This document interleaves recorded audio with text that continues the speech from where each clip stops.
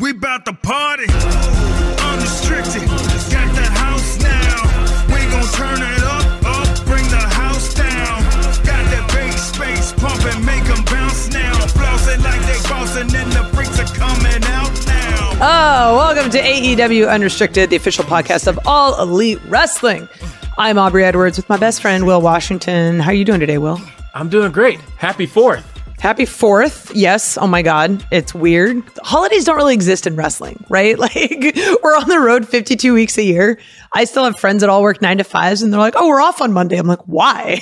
I still have 12 meetings. What are you doing? Well, last year was the the first time I ever had to experience that because I had travel on the 4th of July, right? Yeah. I, I did too. yeah, I had travel on the 4th and this time I'm traveling home on the 4th. So this is like it's a little bit better. Um so I at least get the holiday as soon as I get home and get my my my sleep in. What's your fourth tradition typically look like?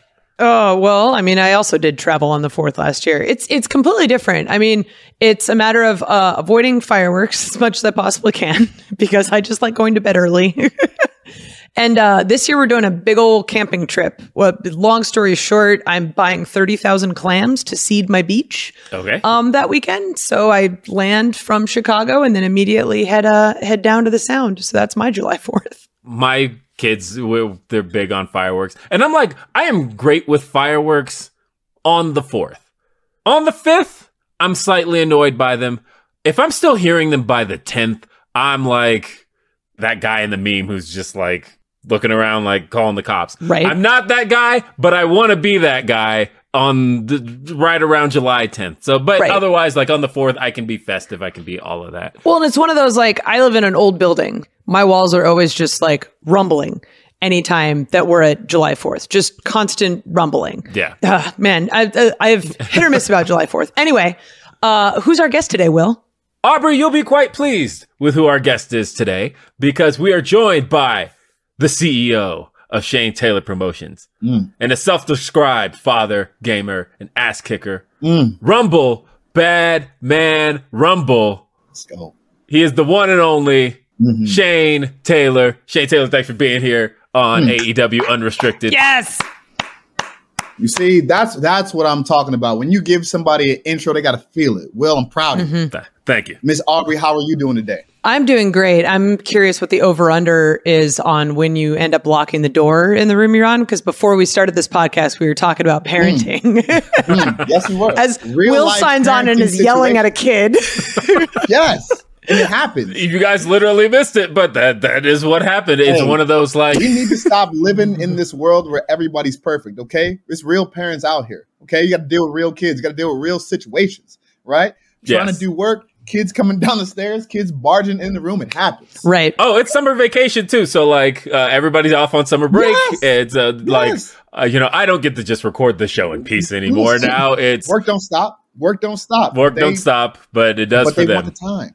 They Yeah. want the time. Got to give it to them. Well, I've got to say, so like I've known your work for a very, very long time, but I feel like in the last year, especially with the advent of Collision, it really feels like the AEW audience has really gotten a chance to get to know Shane Taylor and get to experience this iteration of Shane Taylor Promotions because we, we've seen various uh, other iterations. This is uh, the current incarnation that includes Anthony Ogogo, Lee Moriarty. Um, I want to talk about kind of the the background of the group for those unaware of what Shane Taylor Promotions is and what it has been in the past. Shane Taylor Promotions is, if you were to think of it in rap group terms, Shane Taylor Promotions is death row. Mm. That's what we get to be. That's what. That's who we are. I take people that society or other people in this industry have told you can't be this. We don't see creative plans for you. You you you'll, you'll never reach these heights. You know there there are people who have this job that you're just not quite qualified to have this job. I take people like that. I take people like Lee Moriarty, who people have said we don't know how to market him. How do you not know how to market one of the best technical wrestlers on the planet? But because we live in a society where he comes from a two parent household, he's not a thug, he's not a pimp, he's not, uh, well, we just don't know what to do with him. Wrong. I know what to do with them, right? And I, I've had individuals like this throughout my my career, I've been blessed to be able to have people on the side of me like a Bishop Kaun, like a Moses, like an O'Shea Edwards, like a Ron Hunt, people who have stood next to me in these foxholes and are ready to go to war with me when we go out to the ring. But more importantly, they have a similar mindset and have similar goals for how we represent ourselves outside of the ring. And to me, when you bring all of that into a combat sports area, that's what you get with Shane Taylor Promotions. I uh, I also wanted to bring up Anthony Ogogo because this was mm. something, and like Anthony's phenomenal. Like I love him as a person, and then it's it's hard because wrestling still kind of follows that like oh it's a fake sport. It's like it's not. Like we all walk away with bumps and bruises and whatnot, right? But like mm-hmm. Anthony is a legit athlete, a Olympic gold medalist. So when he ended up with you guys, it just made all the sense in the world to me. You mm-hmm. guys are all about throwing punches and being scrappy, and then you've got the guy on the roster that is the mm-hmm. most about it, right? And I'm like, the dude's literally at the Olympics commentating this week at boxing. How you can't get more legit than that. It's pretty dope. Anybody else from the AEW roster commentating at the Olympics right now? Nope. Don't, think, think, so. so. think so.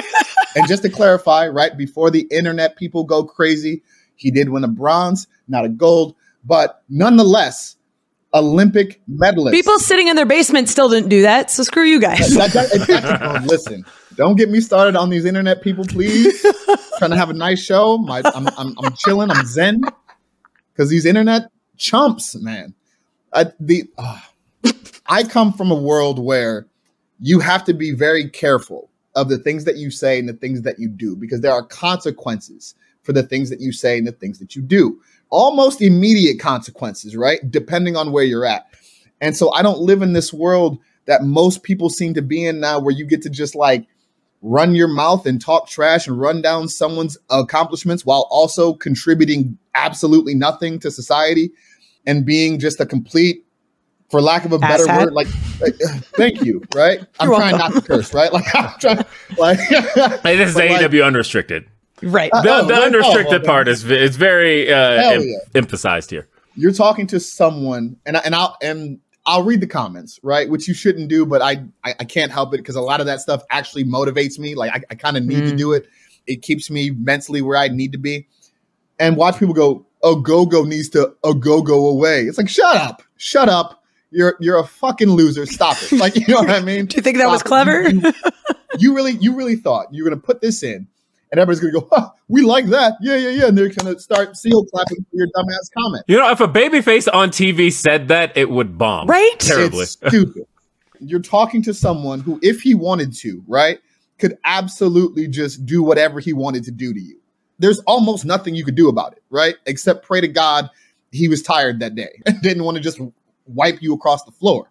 This whole this whole social media world is wild, but that's what I love about who we are as a group and who Shane Taylor is, not only as a person but as a character. Is I am anti all of this. I, I don't care what you said, when you said it, how you said it. When I find you is when I find you. When I catch you is when I catch you. And if you said anything about me, my guys, or I even just think that you might one day, we're gonna find you. We're gonna beat your ass drape that STP flag over you and we're gonna have fun with it. Mm-hmm. Well, you know, I, I want to talk a little bit more about this this run you've been on as of late. Mm. It's been very interesting watching those who weren't familiar with Shane Taylor and watch you grow on people. And mm-hmm. I, I've watched it happen before my eyes. I have watched people who didn't know exactly what Shane Taylor brought to the dance and then all of a sudden walk away going, Oh, okay all right, I see it. Mm-hmm. The place where I recognized that everybody was kind of all unanimously in one place going, all right, this guy is the real deal was May 16th, Collision, Will Ospreay. Mm-hmm. That match, walking away from it, you know, it, a lot of people walk away from Will Ospreay matches and they walk away going, you know, oh, Will Ospreay really he did his thing there, but like mm-hmm. that wasn't the case there. People looked at you and went, all right, this is a guy who you can put in there with a Will Ospreay, and they're gonna deliver a banger together. Mm-hmm. What was that night like for you? What did you feel? Kind of that sense of accomplishment that you proved something to people that night. Yes and no, and I know that's a weird thing to say. And first things first, all all credit to Will Ospreay. You know, there's a lot of people who have a lot of taglines in this sport. Uh, but when Will Osprey says he's on another level, he's not lying. That man is really that good. He really is, and could very well be the Billy Goat. You're talking Danielson, Ospreay. Mhm. You know what I mean? And and depending, and even though Ospreay won, I, I don't think he quite overtakes Danielson yet. You give him some more time, maybe five years or so. I, I give it five years, and that's a different order, right? But there there is one thing that he said to me prior to going out there that I kind of always say to people. So it was weird being in the other position. And I always tell people, especially ones that I'm close to, go out there and show them who you are. Remind them and, and show them why your name is your name. What Will said to me was, You belong here. And he said, Bruv, he's like, You Bruv. belong here, bruv. And you have. So go show them. And I was like, that that's all as charged up as I get prior to that, that that's all I need. That's all I need. I was like, all right, bet. And so I've been able to do a lot of cool things and be in the ring with a lot of great talent. And that match with Ospreay, that's something that I've always been able to do. And I, I can go at that pace and do those things. And then you and then you struggle, right, with the psychology of the way some people want you to wrestle and some people want you to do your thing. And the way I do things is not the way, you know, a lot of the the legends in in the past, especially the the big guys would do things. But this is a new age. And so bringing that athleticism, excuse me, bringing the ability to be able to do those things and work with with a talent like like that at his pace, it's one of those things where I I was proven right, and I get to just go, yeah, I know. and so when people are like, oh man, I'm so imp- oh we, we- well we didn't know why why didn't you think I could? hmm You see what I'm saying? Like what what part of me being here made you think that I was going to be any less than what I told you I could be? I particularly loved that match and being a part of it and seeing both of you up close. And it was one of those things where I've had the opportunity to work with you a couple times prior to that. Mhm. So when I saw the match graphic and then I saw my name next to the assignment, I'm like, oh, Oh this is going to be a banger. Mhm. And I like that in that amount of time, like it helps because like you're proving it to the fans that you belong.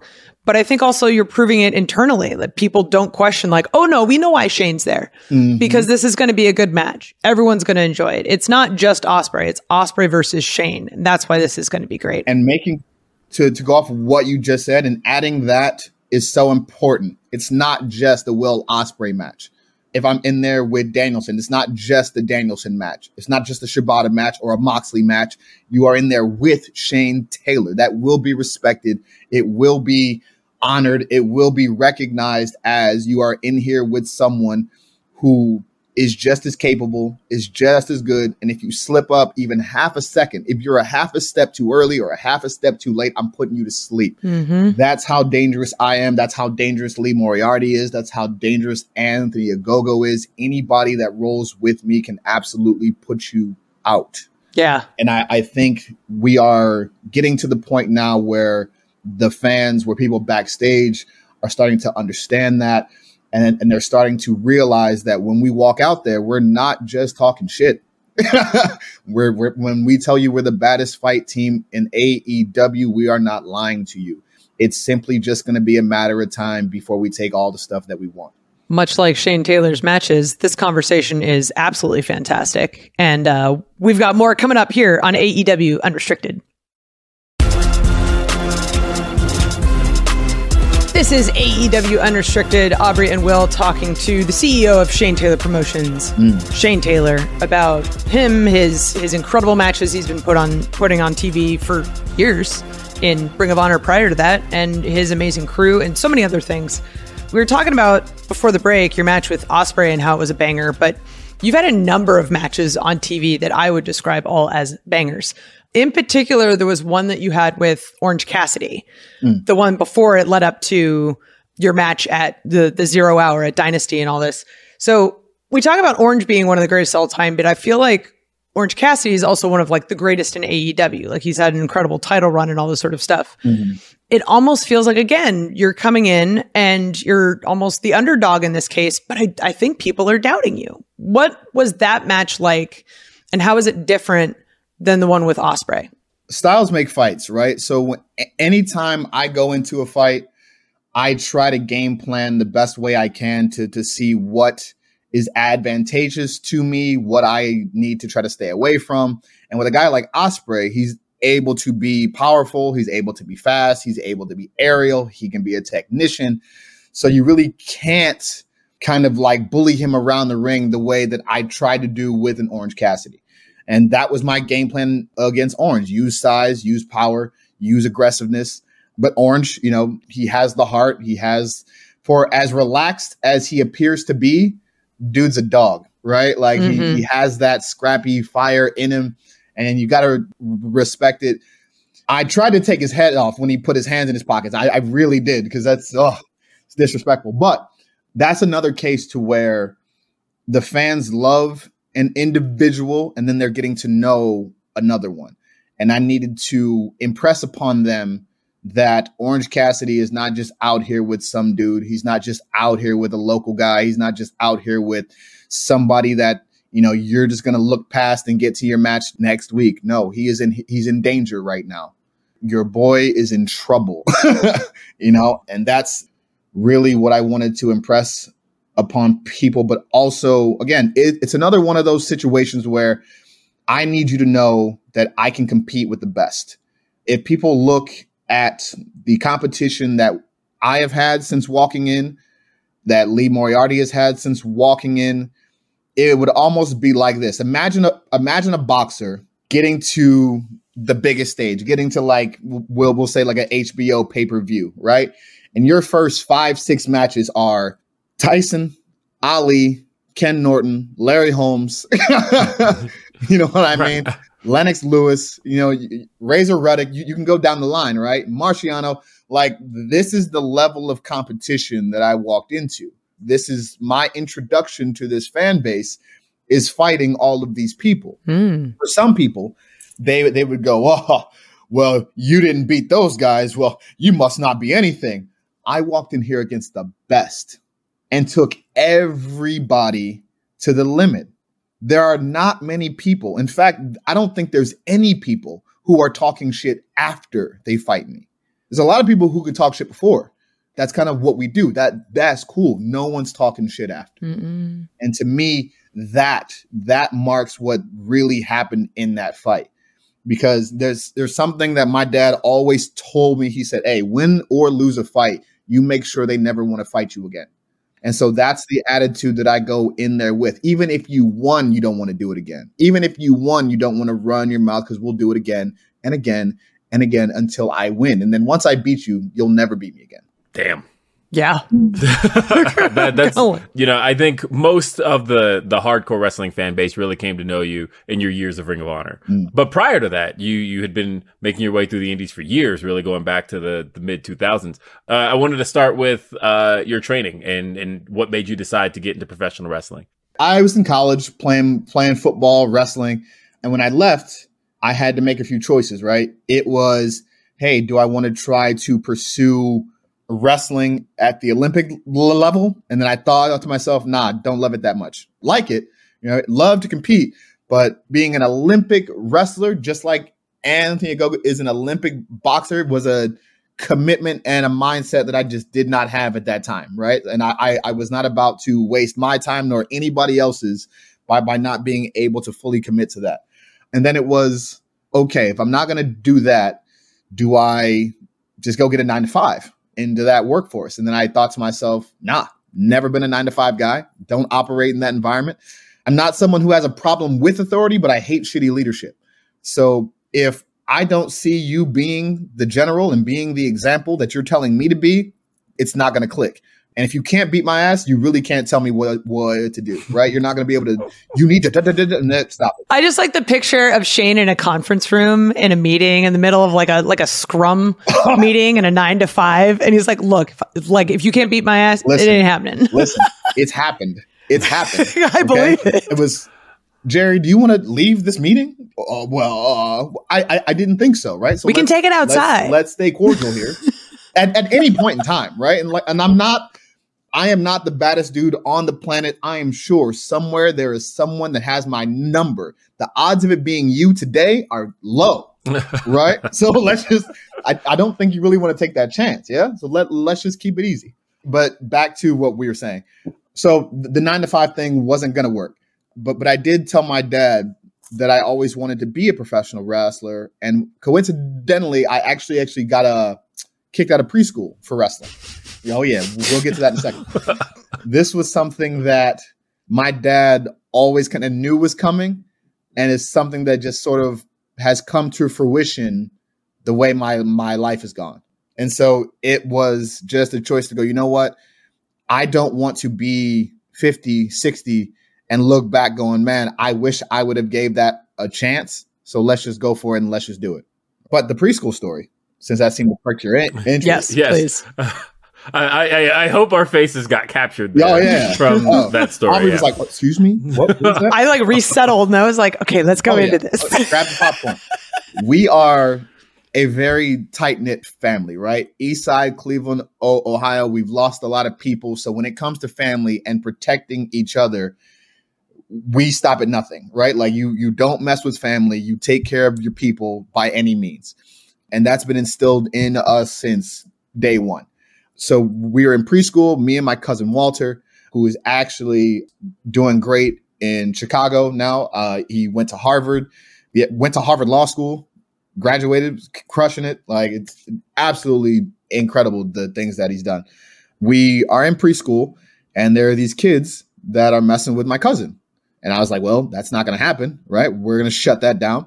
So we ended up getting a little, you know, preschool scrap. I decided that since the teacher was MIA, that I was going to, you know, put a stamp on this fight. So I climbed up on top of a table and proceeded to hands up, macho man elbow this kid, point of the el- elbow right to the chest, boom. oh no. And uh, it was at that point the teacher came back in, saw what was happening, and immediately called my dad. And the entire time, I'm I'm talking trash, right? And she's telling me to shut up. I'm talking back like, nah, it ain't happening because this, this, this, this, this. so she ended up like taping my mouth, and which didn't go over well once my dad got there. And yeah, so he was basically like, take the tape off my son's mouth now. I'm gonna take them out of this school, and then I'm gonna go take them to get ice cream because they did exactly what we told them to do. Whatever else happened with the parents of the kids that you know we elbowed, I don't know, but I never heard about it again. So it was done from that point for me. Uh, but yeah, that's that's the story about how I got kicked out of preschool for wrestling. I think I need a breather after that story. I've been a wild boy for a minute, man. Y'all, y'all, y'all, y'all just getting to see it. but you are born for this. You're Oh. absolutely born for this. But and we've got tell people, man. This is who I am. we've got more with Shane Taylor right here when AEW Unrestricted continues. AEW Unrestricted. It's Will Washington. It's Aubrey Edwards. It's Shane Taylor uniting over common bullshit as we were talking about in Yeah, the you, break. You damn right. Yes. we were talking about um, your upbringing, and of course, we talked the Speaking of preschool common story before the break. yes. Mhm. So again, uh, wanted to get into the the training story. Uh, am I correct here? You were trained by Ray Rowe. Yes, I was trained Yes. by Ray Rowe and Jerry and Jerry Myers. I actually wrestled Ray Rowe in high school. I was sick that day, so he won, you know, and all that shit. But It's the only reason. not not not that he was an incredible wrestler and, and just won, but no, the fact that I, I I was sick, pretty sure was injured too. He won, you know, and it's cool. But I, it's not something that I still think about as a 38 year old man. the loss that I took tw- 20 years ago, but it's cool, you know. Um, but no, Ray is one of the most amazing people that I've ever met, not just in this industry, but simply in life. He is someone that if you had to go to war, you pick him. Mhm. You pick him every single time without hesitation because he will tell you the things that you need to know, whether you like them or not. He will be honest, but he will always be a man of his word and he will always have your back. And he has helped me make better decisions than I would have made if he wasn't there to guide me. I would have made and reacted to situations throughout my career much differently had he not been there to be that voice of reason and, and kind of steer me where I needed to go. And so for me, coming from that amateur wrestling background, but also having the boxing and having the striking, he has all of those things as well. Uh, so for him to be able to guide me and show me and teach me, as well as me find my own way, has helped develop the style in which Shane, Shane Taylor p- performs today. I like that he's like, oh yeah, he'll guide you. I'm like, is there a way that you're guided that's not punching people? like, Not really. or he's just telling you how to punch people. like that's really what he's guiding. So, okay, so here's a funny story, right? We always argue over who is the more violent brother. Because I've been in more fights, he says it's me. But I try to argue my point that I'm simply just more efficient at ending situations before they become bigger situations. So if I get into five fights, but you get into two major brawls, to me that that your level of violence is higher because the the the destruction, the amount of people who got hurt, the the importance and seriousness of the situation was much bigger. I simply just hit these five dudes, right? That's they're the only victims, right? Like that's what it is. Now you go over here, you've now undressed this man verbally to where now him, his boys, three other people, and now somebody else is is involved. You get innocent bystanders hurt. Someone throws a glass. This person gets hurt. Like you are much more prone to violence than I am. I handled the situation. You let it get out of control. I believe I'm I'm correct. He he argues the point, but it is what it is. You know, he's an English major, so he I watched this man talk to grown men like they're children, and then look at me like, "Can you believe he swung?" Yes, yes, I, I can believe he swung. Yes. Had you talked to me like that, I'd have swung, and I love you to death. You know what I mean? Like you can't talk to people like that, bro. I'm like, you should have hit him 10 minutes ago. Like nothing was gonna happen, right? This wasn't gonna get better. It wasn't gonna like you should have just ended the situation. But I tend to be the one that he says is more prone to violence, but I disagree. I mean, the argument's sound. I'm not going to disagree. You see, you see the logic. You see Right. the logic. Yeah. Exactly. Right. And that's that's all I've been trying to say. I mean, I'm no English major, but I see the logic. I'm like, I'm like, dog, the guy was wrong. You could have just told him he was wrong. That's what it is. Cool. End the situation right there. But no, no, no, no, no. It was like, have you learned your lesson? Will we not do this again? I'm like, what? What are you? What are you doing? What are you doing?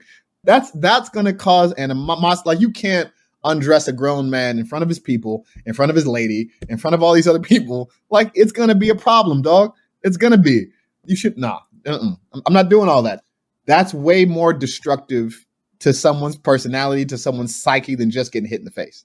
That's that's way worse in my opinion. Well, let, us talk about the level of violence and how it increased because uh, in 2014, Hmm. uh, or was it 2015? 2015, I remember correctly, with Mhm. uh, with Keith Lee in Ring of Honor. You Mhm. two were known as the Pretty Boy Killers. Yes, sir.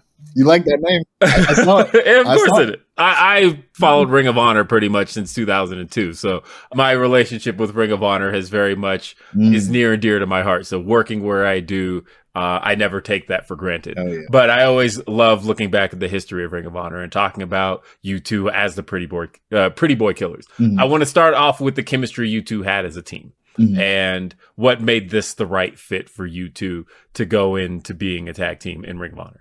Keith Lee and I are essentially yin and yang. We have very similar goals to where we want to be in the industry, to who we want to be, not only in our families, but in our communities, and, and sort of be able to both be able to sit on that throne that we've seen great men sit on prior to us. But we have vastly different personalities, as you guys can tell. Keith Lee is a borderline genius. I might not even say borderline. The dude is incredibly intelligent. He's very articulate, very knowl- very knowledgeable about a lot of things. What we commonly face in this industry is stereotypes about what superstars look like, what superstars can be, where you come from, what the prototypical or stereotypical star looks like. And when you think of a champion, when you think of someone who represents this industry to the mainstream audience, a lot of times the image of guys like Keith Lee or the image of guys like myself doesn't come to mind. You have this image of someone needing to to be six five and jacked and abs with baby oil and trunks. And for some people, hey, if that's what you like, like that. That's incredible. but you can look different and still be a star. Just like in combat sports, all the rip guys aren't necessarily the best fighters. They're not the, they're not the best champions. It's whoever's got the dog in them the most, whoever is willing to go out there and showcase the skill that can really make it happen. To me, that's what that pretty boy killer name was all about. I actually got it from a buddy named Trip Lee in Ohio who was going by Pretty Boy Killer. And I, I was like, hey man, can we use that name for for this tag tag team? He was like, go right ahead, my you know, go right go right ahead. I was like, cool. But that's what that tag team name was all about, killing the image killing that pretty boy image, killing that stigma and that thought process that these guys aren't what stars can be. These guys aren't what we want our stars to look like. These guys aren't where we need our stars to come from. They don't have the backgrounds that we want our stars to, to have.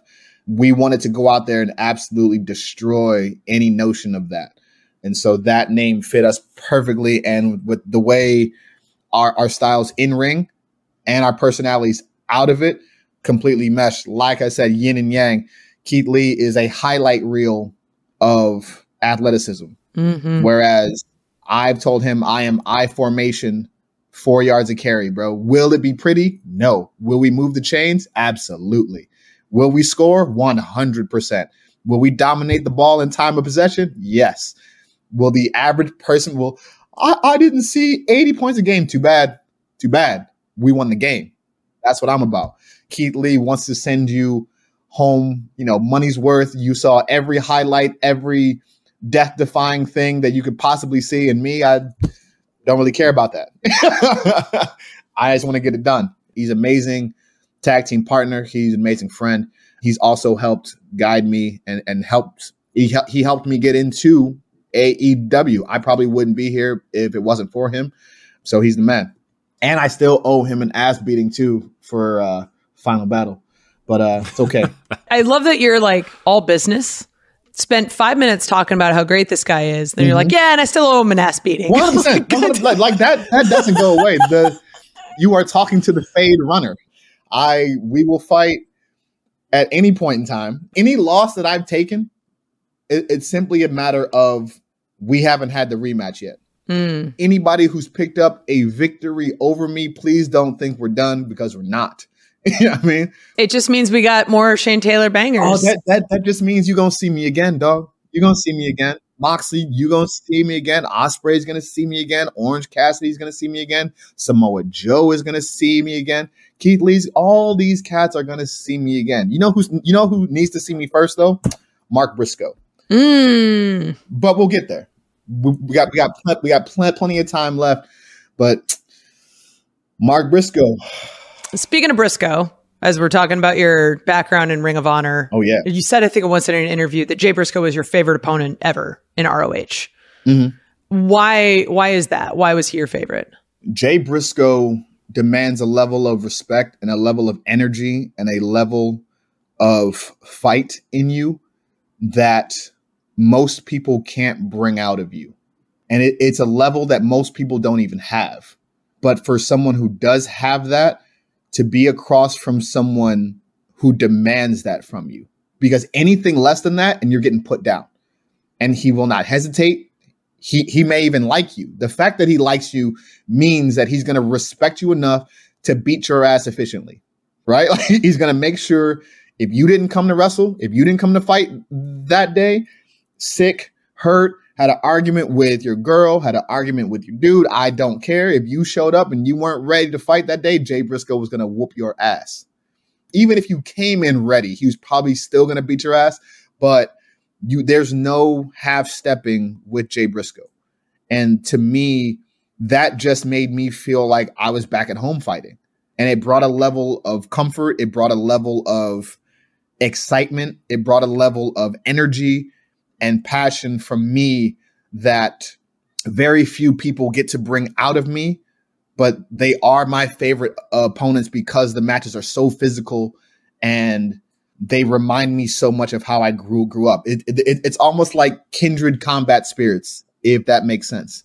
Mm-hmm. And so guys like Ray Rowe, guys like Jay Briscoe, guys like like Samoa Joe bring that energy out of you to be able to be, and because of who he is, right? Because of the fact that he's someone who took what Ring of Honor was supposed to be, and that is the counterculture, the alternate option, a, a group of individuals who this industry told, yeah, you're good, but you're just not good enough. You're not big enough. You're not aesthetically pleasing enough to be able to take and lead that group of individuals for 20 years, make it one of the best places to perform, to give so many opportunities to people like myself and to others to represent that and to be so loyal to those letters and to that company.